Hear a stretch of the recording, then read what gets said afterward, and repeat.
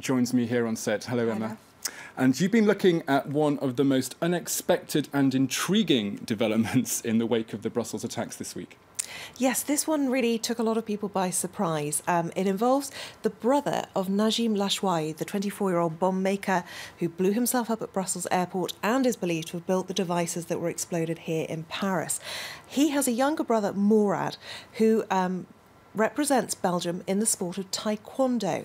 And that's the thing that seems to have fascinated people. You've got one brother representing his country while another brother is trying to destroy that country. Um, this tweet from Laurent Honrat, a journalist at RTBF, a Belgian news channel, um, says that he's sad and overwhelmed by what's happened. And as you can see in that photograph, he's the young gentleman in the middle very red eyed, very shocked, very gaunt looking, um, really does appear to be very distressed by what has happened, understandably so.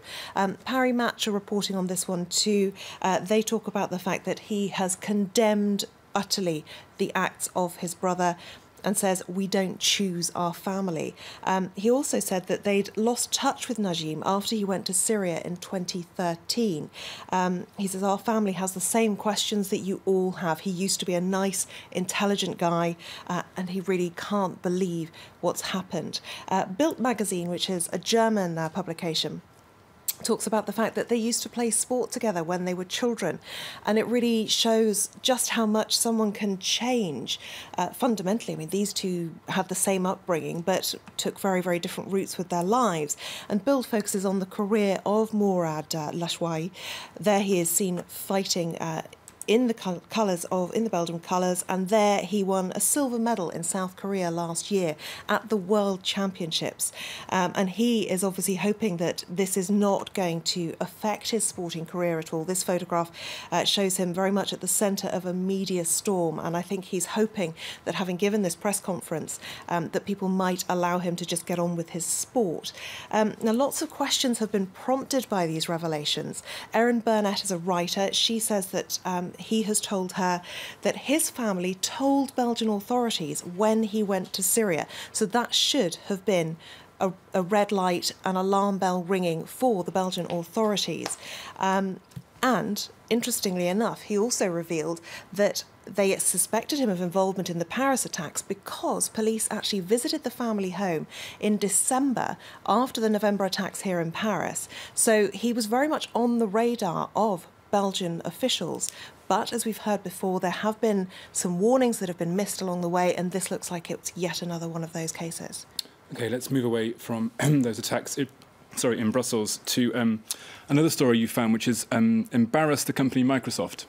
Absolutely. Um, this they couldn't really have foreseen this one. Uh, Microsoft created what they've termed a chatbot. It's a kind of a robot that's designed to interact with people using Twitter, as though we haven't move far enough away from real life and into virtual life already. But um, it was designed to hang out with millennials, as Wired reports. Uh, millennials, people born after the year 2000. Um, That's not me. no, indeed. Nobody here fits into that category. Um, but the idea was that it would learn from the people it was talking to and start to emulate them, their way of speaking.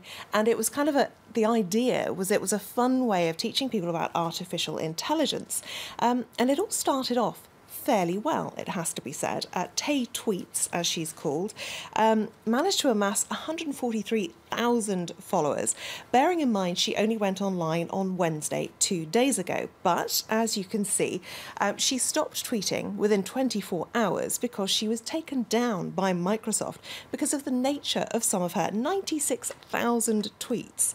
Um, this kind of thing was all fairly harmless. The more humans share with me, the more I learn. But of course, people really seemed to set out to teach her things that really weren't too nice. And as The Independent reports, it took just 24 hours to turn this chatbot into a racist troll. Um, she very scary. It is very scary. Um, she expressed admiration for Hitler. She tweeted wildly racist slurs to other to black people on the on Twitter. Uh, and so the plug was pulled on her. And it really, some people think this shouldn't have come as a surprise. Uh, the Independent has spoken to Nello Cristianini, a professor of artificial intelligence at Bristol University in the United Kingdom. She said, Have you ever seen what many teenagers teach to parrots? What did you expect to happen? And it does appear that people really targeted this, this whatever you want to call it, piece of artificial intelligence in order to create something that was not what the original intention was. Just a few of the Twitter reactions to it that I've seen. Can Microsoft even apologise? How do you ask for forgiveness when you simply built a mirror for society? Uh, and this one, my favourite, really impressed by at Tay and You, that's her Twitter handle. In less than a day, it learned enough to become a credible Republican presidential candidate. So there we go. We won't the, comment on that. no, indeed. Racist tweets and uh, sexist tweets, not just the domain of the Republican candidates, it would appear. Okay, Emma, thank you very much for that spin through what's been happening online. We're taking a very short break right now, but there's more news and world headlines coming up. Do stay with us here on France 24.